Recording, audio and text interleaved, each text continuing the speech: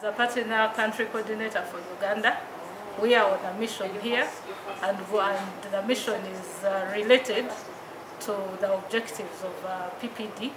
We want to find out what Bangladesh has done in order to address teenage pregnancy.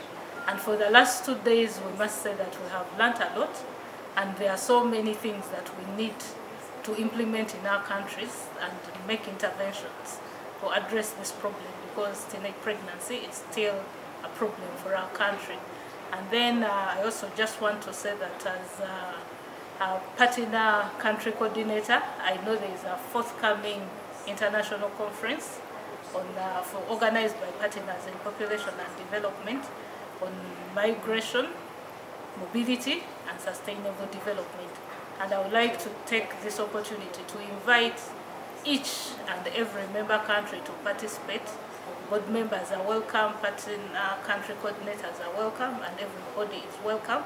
The conference is taking place in Yogyakarta, Indonesia, end of November, precisely 26th to 30th November 2017. You're all welcome.